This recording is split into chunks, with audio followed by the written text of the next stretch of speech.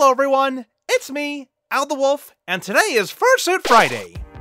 Anyways, so last week I put out a brand new video on YouTube. In that video, it showed a small scene of Sherbert on his phone, looking at apps or something. When Sherbert sent that footage to us in post-production, we noticed something very different about that footage. The footage contained a funny punchline in there, a really good, uh, punchline, like it's short, simple, and sweet. The video was very short, and we thought you guys might like it. So, uh, yeah, we hope you guys enjoy watching this lovely video made by Sherbert.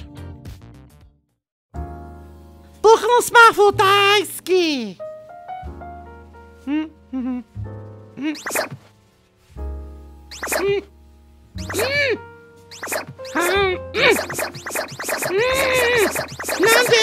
I was unable to find Christian steakhouses in your area, Sherbert.